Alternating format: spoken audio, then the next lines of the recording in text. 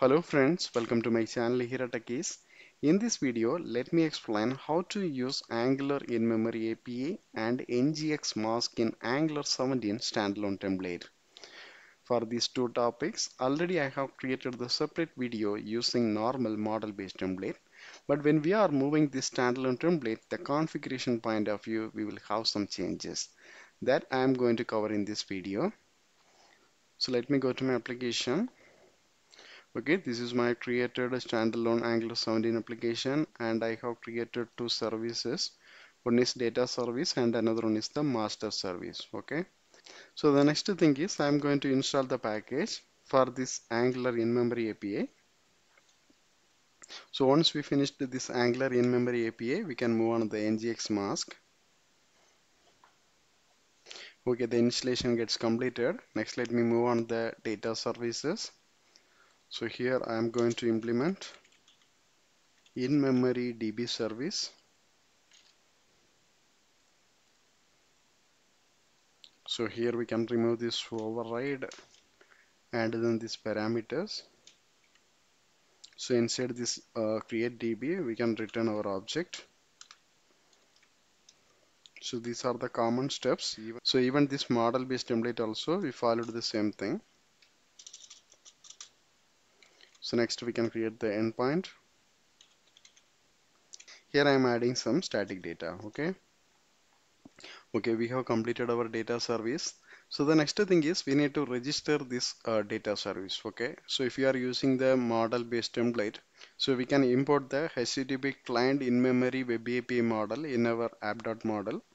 So in this standalone template, we have this app config only. Okay. So in this app config section, we can see this provider. So here I am going to include import provider form and then we can include our HTTP client in-memory web API module. In this forRoot section, we can include our data service. Okay.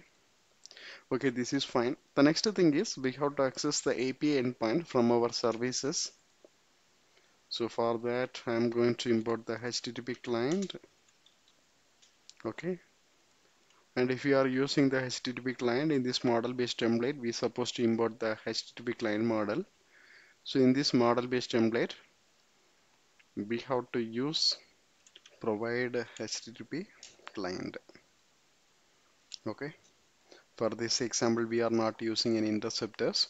So if you have any interceptors we can include it here. Okay so now let me save this one. For verifying this one I am going to use one getAll method.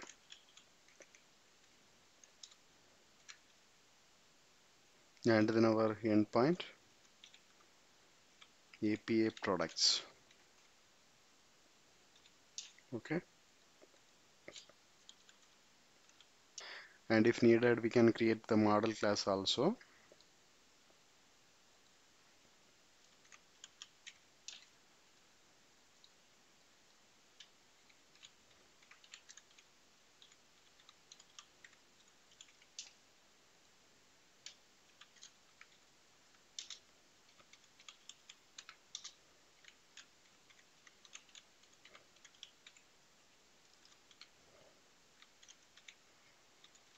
again id number name string and then description.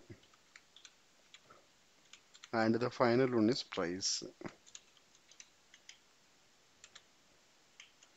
Okay. So now we can use the exact data type also.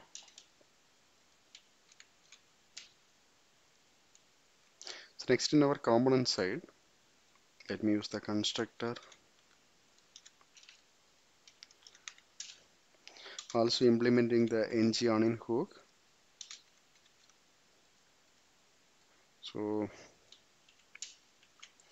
so in this constructor let me inject our master service.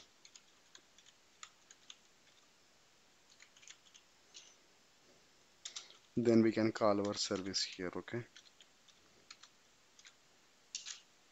So we can subscribe this one.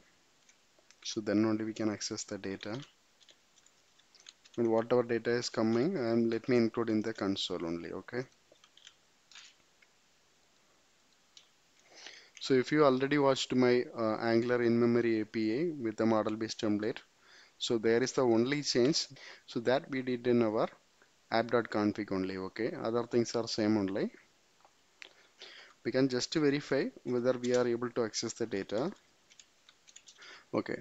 So in this example I'm just using one of the get method. The same way if you want to use the put post and delete methods follow my previous video okay? Anyway I will include the description in the link. Okay. So the designing point of view we not did any changes. We can check in the console for the data.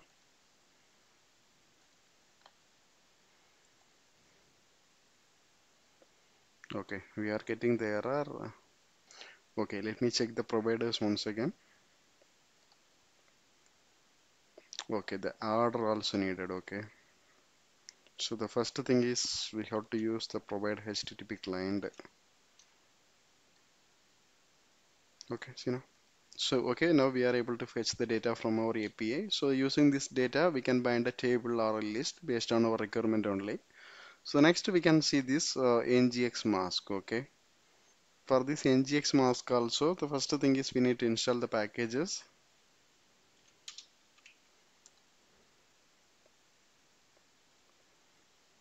So ngx mask so let me copy these packages. And application in this running mode so let me stop and uh, install the packages. Okay the installation is completed. The first change is from our app config. So here let me include the provider provide environmental ngx mask okay? So after that in our component side so in this component also a standalone component so it's having this import section. Here I'm going to include this ngx mask directive okay? So let me save this one. Also parallelly running. And we can see the output okay this is our default template. I'm going to remove all the items except our router outlet. Now for this current scenario the router outlet also not needed but I'm just keeping for doing the next exercise. For verifying this mask so let me use one input control and then adding this mask.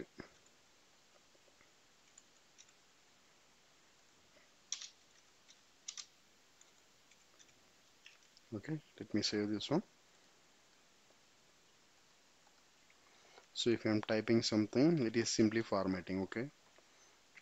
Okay our mask is working. And also I'm having some more examples. Let me include